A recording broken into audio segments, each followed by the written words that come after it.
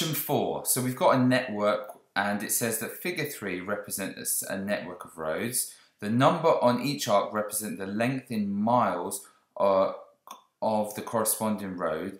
Liz wishes to travel from S to T. So she wishes to travel from S to T. It says, use Dijkstra's algorithm to find the shortest path from S to T, state your path and its length. So you must do two things at the end. Now they always give you um, a diagram for you to fill in for a Dijkstra's algorithm question. So we're going to go down to this, which is down here.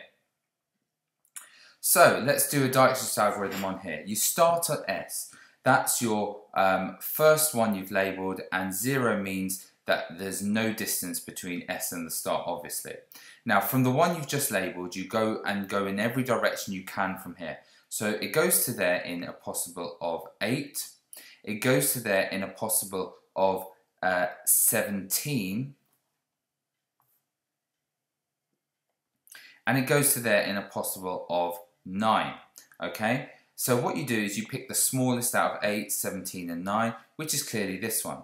So you label this permanently, your second permanent one, and it's 8 to get to there. Now what you do is from this one, you go in every direction that you can, now, apart from going back on yourself via this path here. So 8 add the 4 would give you a working value of 12. 8 add the 7 would give you a working value of 15, which is better than 17 and that's the only two places you can go. So now you look at every one that's not permanently labelled. So the smallest of 9, 15 and 12 is 9. So you permanently label this number 3 and it's got a distance of 9. Now from here you go in every direction you can. So you go up in 4, 9 add 4 is going to be 13, so you write that there. 9 add 14 is going to be equal to 23. You can't go back on yourself here. So now you look at all the ones that aren't permanently labelled. The smallest of 13, 12 and uh, 23 is 12. So this is going to be your fourth one and you're going to label it 12. Now you go from this one now, the permanently labelled, in every direction you can. So 12 add 9 is 21, which you write here. 12 add 16 is 28, which you write here. You can't go back on yourself, that one's already permanently labelled. So now you look for the smallest of 21, 28, 15 and 23. It's clearly this one. So this is number 5 and it's got a permanent value of 13 now. So we can't go down to another one that's permanently labelled or back to that. So we go 13 and 14 is 27. 13 and 7 is 20. And now you look at these three here. The smallest out of 21, 27 and 20 is 20. So you make this number 6 and you call it 20. So you go everywhere from this one. You can't go back to two permanently labelled, so you just go 20 at 6 is 26, 20 at 9 is 29. You look for the smallest out of these, 26, 29 and 21.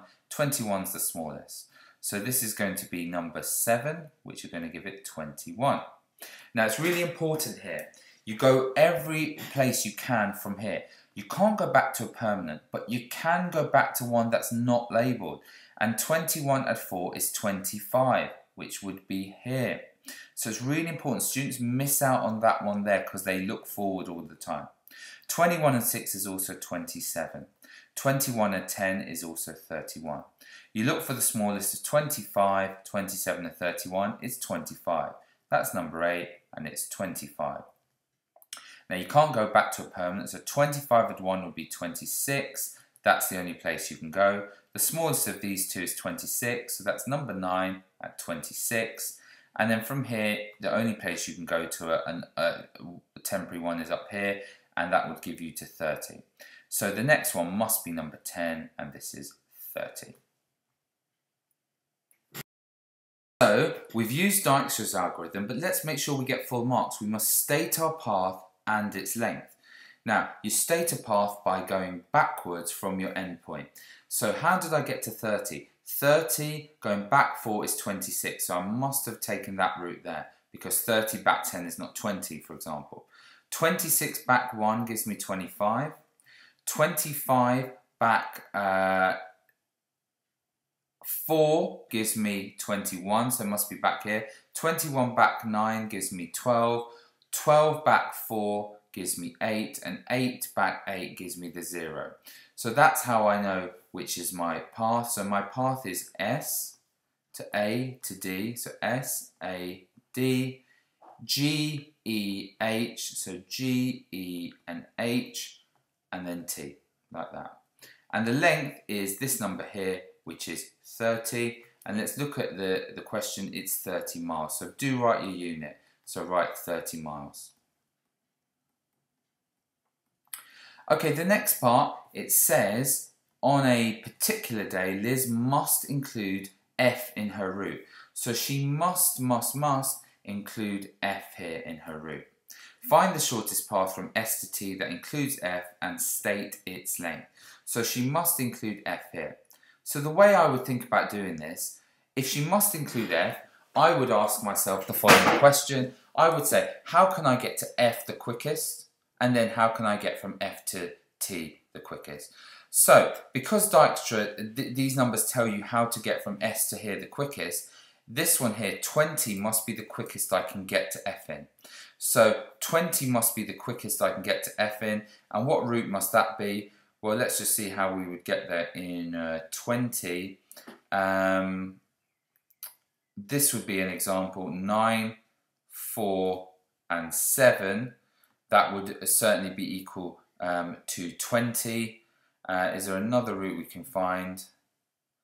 Um, well, I, I think that's probably the quickest. So there, S, C, B, and F would be the quickest there. So S, C, B to F. And how do I get from F to T in the quickest possible way? Well, is it 9 and 4, which is 13? Or is it 6 and 1 and then 4. So it's obviously 6, 1 and then 4. So it would be to E to H to T. So it would be E to H to T. Now this bit here took us 20. So that bit there took us 20. And this bit here, 6 and 1 is 7 and 4 is 11. So this bit here must be 11. So I would say 31 miles is my correct answer for that.